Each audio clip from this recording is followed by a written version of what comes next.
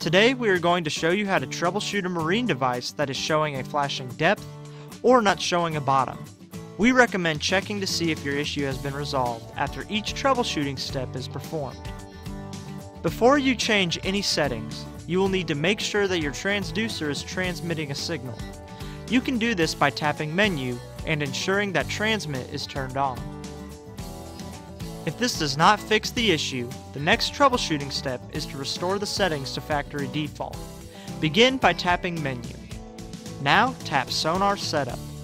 Then tap Installation. Tap Restore to Factory Settings. Tap Yes to finish restoring to factory defaults.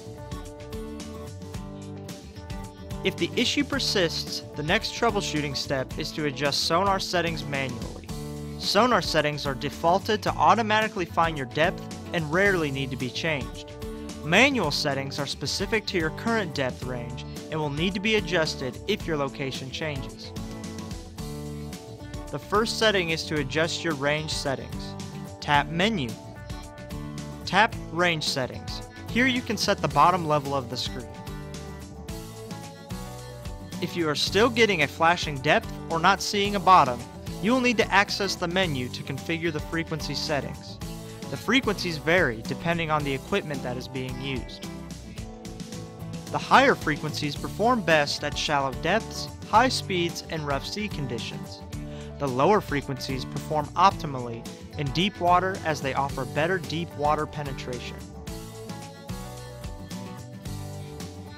If your issue continues, you will need to access the menu to adjust your gain settings.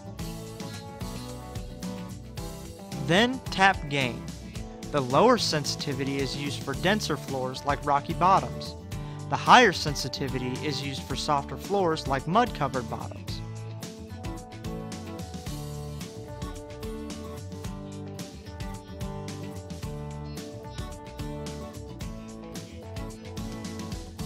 If your device is still showing a flashing depth or not showing a bottom, make sure that your transducer is installed correctly. And that's it. Thanks for watching. For more help, visit support.garmin.com.